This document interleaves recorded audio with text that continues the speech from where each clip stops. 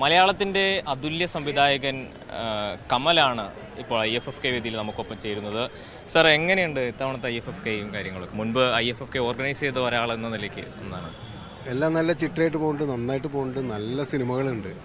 നമ്മൾ I F F കെയുടെ എപ്പോഴും ഒരു വിജയം എന്ന് പറയുന്നത് മികച്ച സിനിമകൾ ഉണ്ടാവുക എന്നുള്ളതാണ്. ബാക്കി എന്തെങ്കിലും പ്രശ്നം ചെറിയ ചെറിയ പ്രശ്നങ്ങളുണ്ടെങ്കിൽ അതൊന്നും ഡെലിഗേറ്റ്സിനെ ബാധിക്കാറില്ല. മൂന്നാലഞ്ച് വർഷമായിട്ട് നമ്മൾ കാണുന്ന ഏറ്റവും വലിയൊരു പ്രത്യേകത എന്ന് പറഞ്ഞാൽ പുതിയ തലമുറ സിനിമ കാണാൻ സീരിയസ് ആയിട്ട് സിനിമ കാണാൻ ഒരുപാട് സമയം കണ്ടെത്തുന്നുണ്ട്.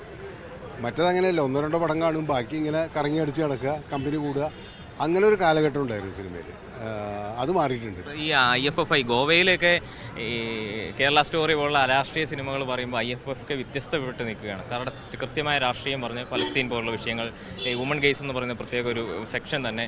എങ്ങനെയാണ് എല്ലാത്ത എല്ലാ കാലത്തെയും പോലെ ഇത്തവണയും രാഷ്ട്രീയം പറയുകയാണ് ഐ എഫ് എഫ് അല്ല ഐ എഫ് എഫ് കെയുടെ ഒരു ഒരു മുഖമുദ്ര എന്ന് പറഞ്ഞത് തന്നെയാണ്. നമ്മളിപ്പോൾ ഈ ഫിലിം ഫെസ്റ്റിവൽ വിഭാവനം ചെയ്തത് ആദ്യം വിഭാവനം ചെയ്ത കാലം മുതൽ തന്നെ ഏതെങ്കിലും രീതിയിൽ മാർജി മാർജിനലൈസ് ചെയ്യപ്പെട്ടിട്ടുള്ള രാജ്യങ്ങളോ അവിടുത്തെ ജനങ്ങളുടെയോ സിനിമയാണ് ഇവിടെ മത്സര വിഭാഗത്തിലുള്ളത് അപ്പോൾ അത് വളരെയധികം എന്താ പറയുക ഇന്റർനാഷണൽ തലത്തിൽ തന്നെ ശ്രദ്ധ നേടിയിട്ടുള്ള ഒരു ഫെസ്റ്റിവലായി മാറാനായിട്ട് ആ ഒരു തീരുമാനം വളരെയധികം ഹെൽപ്പ് ചെയ്തിട്ടുണ്ട്.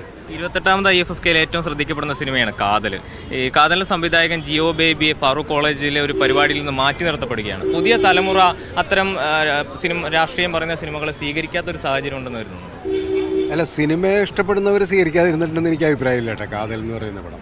കാരണം ഇവിടെയൊക്കെ നമ്മളത് കണ്ടതാണ്. ഇവിടെ നന്നായിട്ട് സ്വീകരിക്കുന്നുണ്ട്. ലോകത്തെല്ലായിടത്തും അത്തരം സിനിമകളൊക്കെ തന്നെ സ്വീകരിക്കുന്നുണ്ട്. അതിനെ ആ രീതിയിൽ കാണാതല്ല. അത് മതത്തിന്റെ ഒരു ഒരു ചട്ടക്കൂട്ടിലേക്ക് അതിനെ ഒതുക്കുക.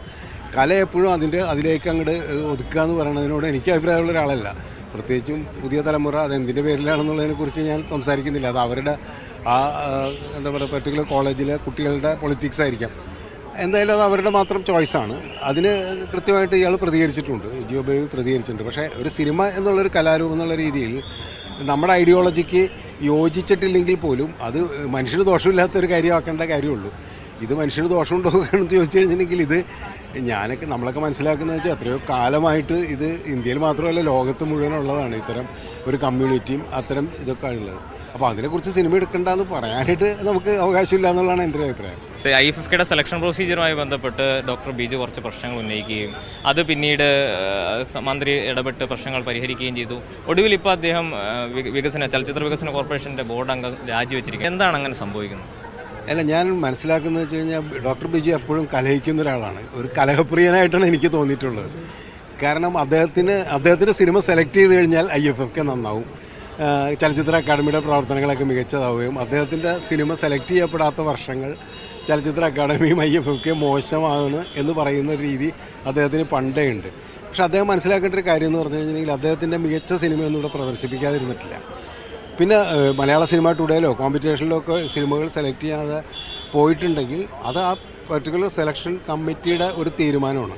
അതിൽ ചലച്ചിത്ര അക്കാദമി ഇടപെടാറില്ല.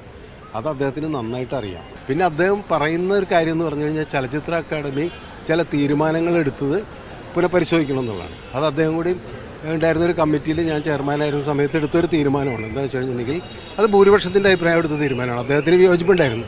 എന്ന് വെച്ച് കഴിഞ്ഞാൽ മലയാള സിനിമ ഇവിടെ പ്രീമിയർ കാണിക്കണമെന്നാണ് അതിനോട് ഇന്നും അനുകൂലമില്ലാത്ത ഒരാളാണ് ഞാൻ. തീക്ഷ്ണമായ രാഷ്ട്രീയം പറഞ്ഞുകൊണ്ട് സിനിമ പുതുതലമുറകളിലേക്ക് എത്തിക്കുകയാണ് ഐ എഫ് കെ എന്നാണ് അദ്ദേഹം പറഞ്ഞു വയ്ക്കുന്നത് സാദിഖ് പാറക്കലിനൊപ്പം മുഹമ്മദ് ആഷിഖ് മീഡിയ വൺ തിരുവനന്തപുരം.